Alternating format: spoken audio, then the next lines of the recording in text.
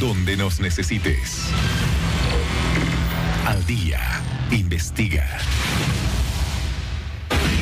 Momentos de pánico son los que se vivieron en esta entidad financiera ubicada en la Concepción Santa Cruz, cuando ingresaron atracadores. Vea por favor las cámaras de vigilancia, además pueden mostrarles de qué manera entraron con armas de fuego. Así es, tres hombres atracaron la cooperativa La Merced de la Concepción aproximadamente a las 14 con 45 minutos del lunes y se llevaron un monto de dinero por ahora no determinado.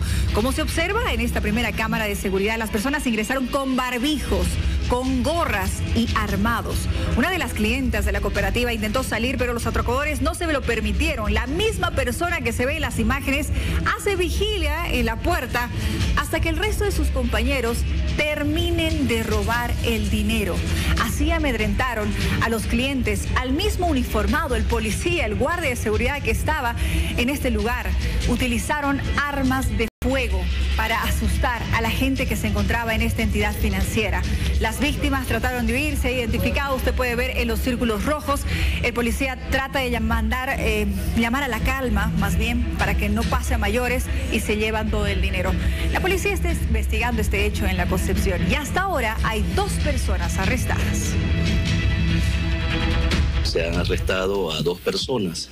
Se las trae en calidad de arrestados para, eh, bueno, en ese término de estas ocho horas de arresto, hacer las actuaciones investigativas, si tienen alguna participación directa o indirectamente con lo que es el atraco, en este caso el asalto a la cooperativa La Merced. Se los ha citado para el día de ahora, precisamente ellos se han presentado para prestar su declaración correspondientes con el asignado al caso, donde se les va a formular ¿no? ciertas preguntas y si hay algo que los indique, pues no, damos nosotros la facultad de aprender a estas personas, pero de lo contrario, desde luego, son en calidad al momento todavía como testigos. En base al informe que se me ha elevado, que son aproximadamente unos 27.800 bolivianos y mil dólares eh, que se habría sustraído de las de, en este caso, de, la, de la cooperativa.